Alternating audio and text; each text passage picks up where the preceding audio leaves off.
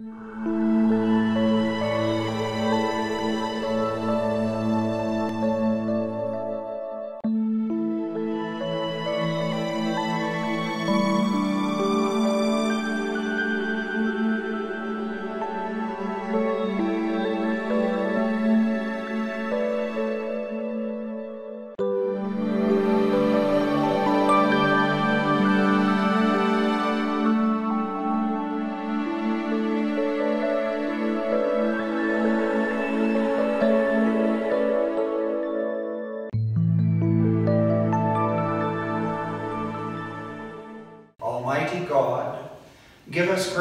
cast away the works of darkness and put on the armor of light.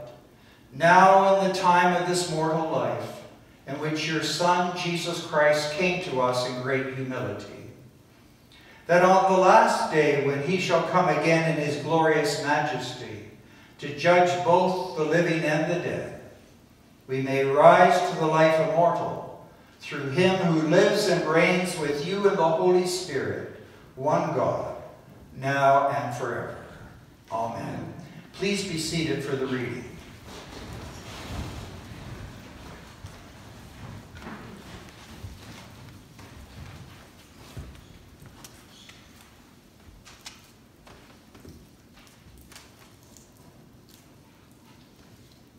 A reading from the book of Jeremiah.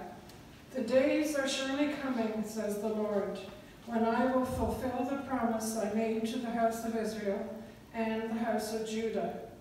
In those days and at that time, I will cause a righteous branch to spring up for David, and he shall execute justice and righteousness in the land. In those days, Judah will be saved, and Jerusalem will live in safety. And this is the name by which it will be called. The Lord is our righteousness. Hear what the Spirit is saying to us now. Thanks be to God. Another thing that we have been waiting for with great anticipation is for that time again in the midst of pandemic protocols when we could resume congregational singing. As I sent in a parish email previously, you'll be glad to know and celebrate today that this is our first Sunday since the pandemic began that we can once again resume in congregational singing. Hallelujah. And uh, the only caveat, of course, is that we're still maintaining the COVID protocols of mask wearing and social distancing while singing. Our hymn is O Come, O Come Emmanuel, that great Advent hymn as we anticipate and wait for the coming of Christ in this music.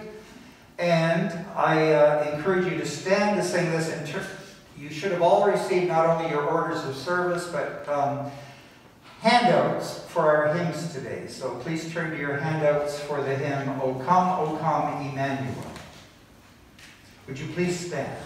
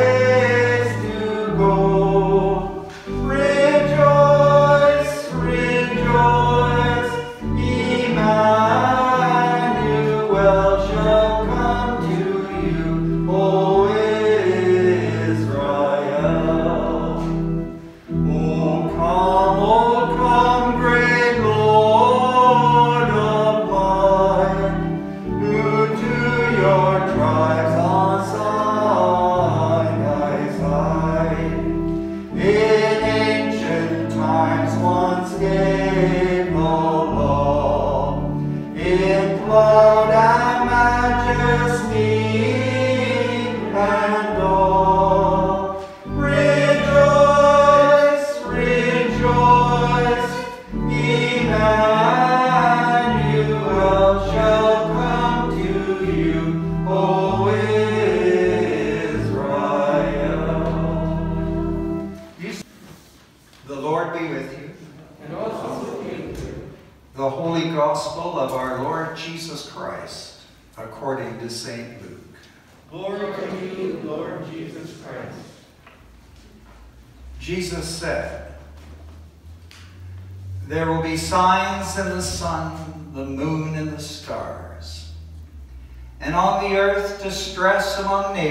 confused by the roaring of the sea and the waves. People will faint from fear and foreboding of what is coming upon the world, for the powers of the heavens will be shaken. Then they will see the Son of Man coming in a cloud with power and great glory. Now, when these things begin to take place, stand up and raise your heads because your redemption is drawing nigh. Then he told them a parable. Look at the fig tree and all the trees. As soon as they sprout leaves, you can see for yourselves and know that summer is already near. So also, when you see these things taking place, you know that the kingdom of God is near. Truly, I tell you, this generation will not pass away until all things have taken place. Heaven and earth will pass away, but my words will not pass away. Be on guard, so that your hearts are not weighed down with dissipation and drunkenness and the worries of this life. And that day catch you unexpectedly like a trap. For it will come upon all who live on the face of the whole earth. Be alert at all times, praying that you may have the strength to escape all these things that will take place and to stand before the Son of Man. This is the gospel of Christ. We have been waiting and waiting and waiting during the pandemic for it to end. And there have been times, including my own, when our patience is wearing thin. For COVID protocols to cease and for our ability to participate fully unimpeded without protocols in public worship and other important activities in our life. All this waiting has reminded me of a very unpleasant childhood experience. When I was young and in public school, I was one of those students, for whatever reason, that was called upon often to participate in things and help lead things.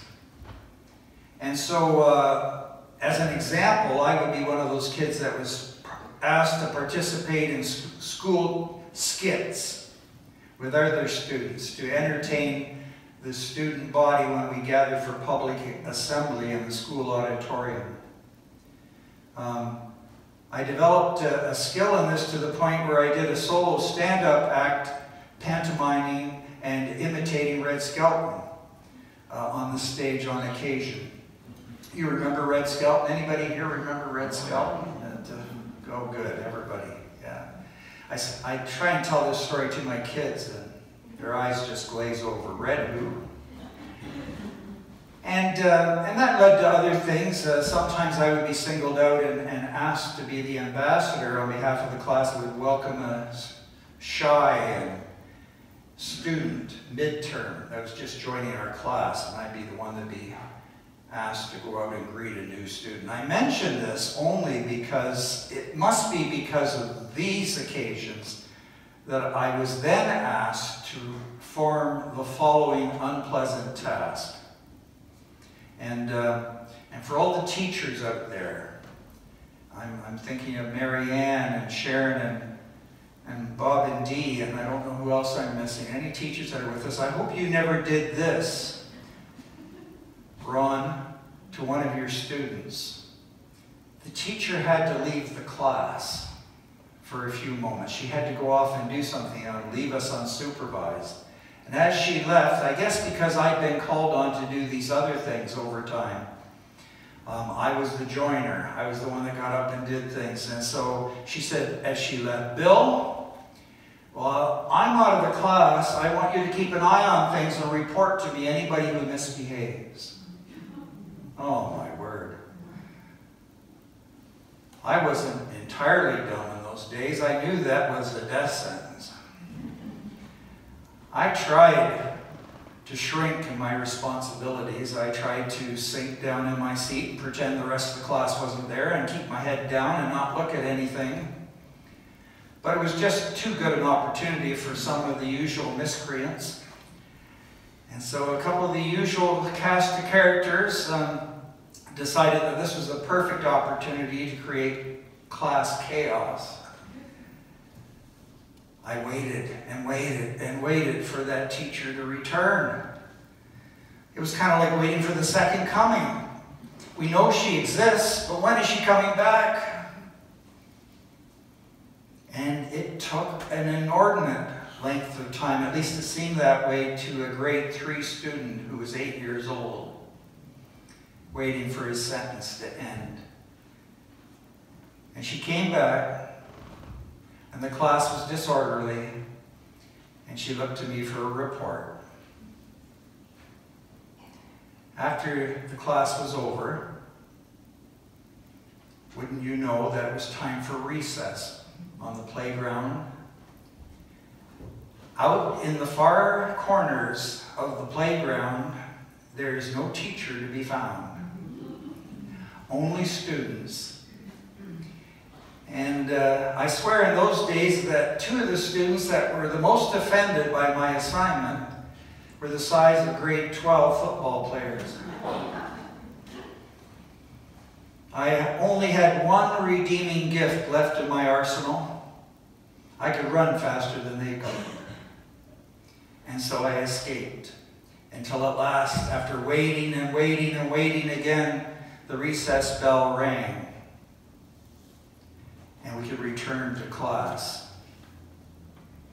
One of my buddies made sure I had a ride home after school from one of his parents to make sure that I could escape any further calamity after school. This unpleasant childhood memory has returned to me now. I wonder why.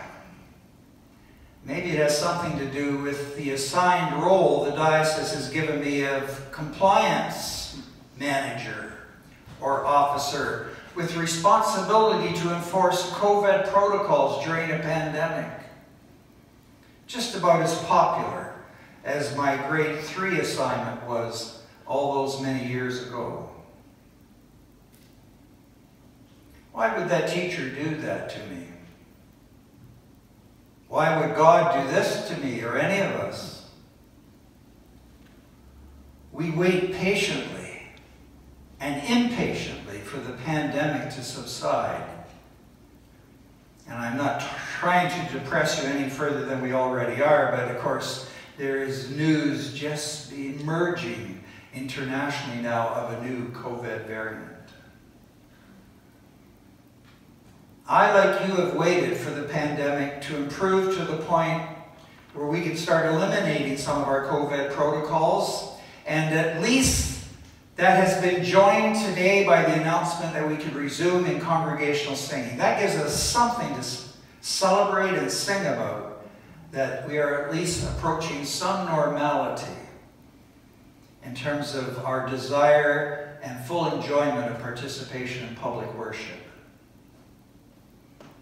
Advent is about waiting not only in these ways, but also in a much larger sense. One thing that Advent convinces us about is that waiting is not a passive behavior. It's not just being still. Waiting is not doing nothing. There are many activities that take place while we wait.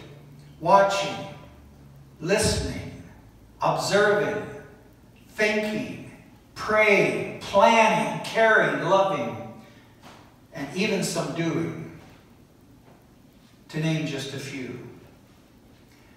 Waiting is only ultimately rewarding if it's understood and approached as having a definite purpose and an end result in sight and intended. We know in the church and in our faith that this waiting is about waiting for the coming of Jesus. We celebrate not only in anticipation his coming long ago, over 2,000 years ago at his birth, but the ways in which he continues to come to us today and will come to us in the future, and the ways in which he continues to be present with us now, even waiting upon a pandemic. It is a belief that by waiting with purpose and belief, we will once again experience the risen Christ. That Christ is with us even in the waiting. He's not absent. And that we should always be alert and be engaged in preparations to welcome his coming.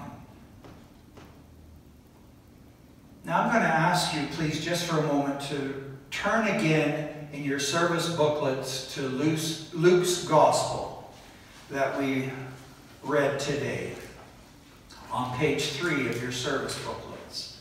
Luke's Gospel. And you'll see in there all the signs and ingredients of waiting. Luke implores, in the mouth of Jesus, the parable and lesson of the fig tree, signs and lessons from nature about waiting. And it is as if Luke would say in the Canadian context that Jesus would say in our context today look at the falling leaves. Look at the bare tree branches. They alert us to the changing seasons. We shouldn't be surprised as I was. You know, I have all these signs, right? I see the leaves fall. I see the bare trees. I see the weather change. I see it getting colder. And I'm still shocked this morning when I get up that it would dare snow on a Sunday morning as I'm preparing to go to Dunsford for worship. Why am I shocked? We have all the signs before us that winter's coming. It has to snow sooner or later. Today's ancient gospel points us to the very current and modern example, as you see in the first verses there, of roaring seas and waves. We call those now atmospheric rivers that gather in the sky and dump floodlight water conditions on a population like British Columbia and cause landslides and destruction. We see the signs of atmospheric change and of extreme weather. And don't we understand that this means that climate change is upon us and we need to prepare for it and to adjust our behavior accordingly?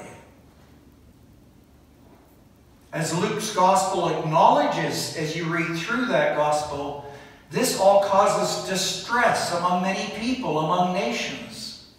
None of this is new. We've lived through pandemic-like conditions before. And we are advised by Luke to be on guard and that we don't fall into the trap of despair caused by worry and hopelessness. Our preparation is to pray and to stay alert.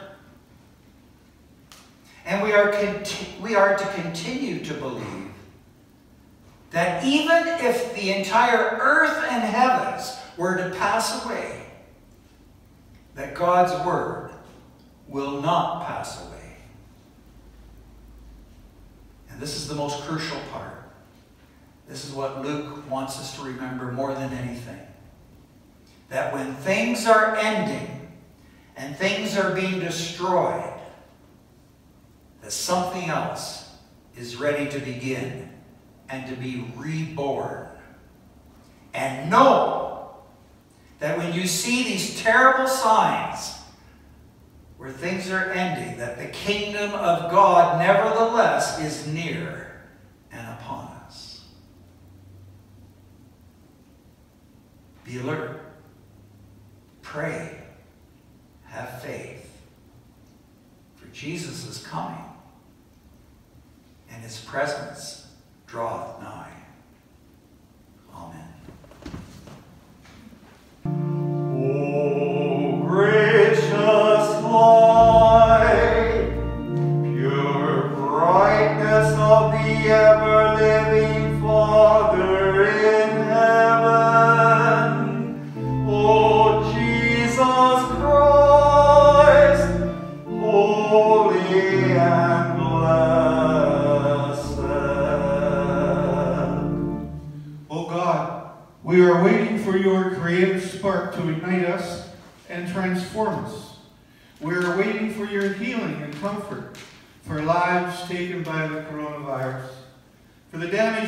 Our earth and the violence that has ripped through too many communities.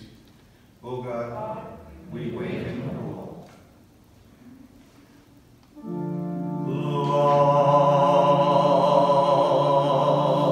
Love.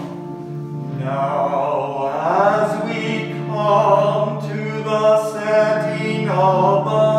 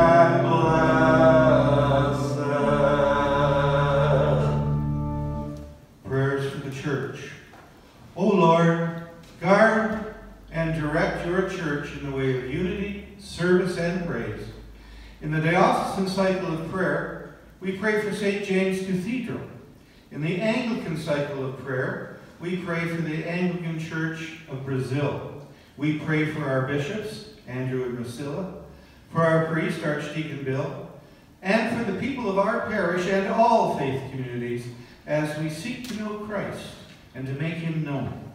Let us pray to the Lord. Lord, hear our prayer. Prayers for healing. We thank you for the unfailing love you hold out to everyone in Jesus Christ. We pray for those in our hearts and those for whom our prayers have been asked. Marie Barker, Jill, Robert Byrne, Janice, Paul Baxter, Thelma Martin, Rose Helliwell. I'm very distressed to report to you today that Rose is quite unwell. And this afternoon, Bill will be visiting her in her home to bring supreme unction. And we continue remembering those in our prayers Beverly Wessel, Linda Reed, Debbie Martin, Emma Junkin, Jerry, Doreen Crozier, Thomas Bartlett, Ann Taylor, Jean Lachance, Steve Addersley, Wendy, Wendy Watson, and Don Patterson, as well as Andrew Sinley. Grace to prayers the world. We pray for the victims of flooding and landslides in British Columbia, Cape Breton, and Newfoundland, and for victims of violence at the Waukesha, Wisconsin Christmas Parade. Let us pray to the Lord. Lord, hear our prayer. prayers for frontline workers. We pray for all those engaged in the administration and delivery of health care, for emergency services workers, police services, community care, personal services, home care, retirement home, and the military. Let us pray to the Lord. Lord, prepare to celebrate the Holy Eucharist is hymn 88 in your service music handout. Come, thou long expected Jesus. Would you please stand?